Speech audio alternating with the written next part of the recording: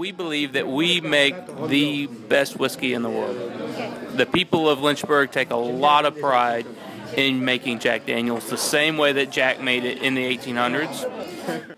And so, generationally, the town of Lynchburg and the people from Lynchburg, we inherit the quality of Jack Daniels uh, from generation to generation, and we're very proud of that.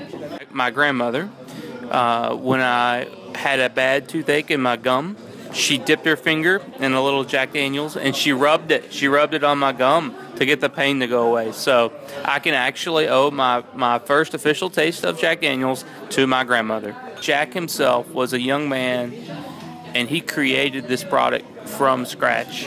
And it was something that he put his whole life into to develop this whiskey and he was passionate about it. And then he left it to his family which was handed down some of my family. See you later